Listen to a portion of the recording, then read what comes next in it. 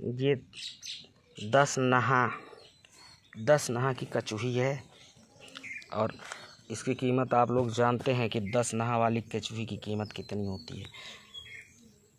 ये कछुई ज़्यादातर कुछ लोग शोध करने के लिए लेते हैं और कुछ लोग धन वर्षा के लिए लेते हैं, क्योंकि यही वो है जो आपको, आपके घर में रह के आपको अरबपति बना सकती है।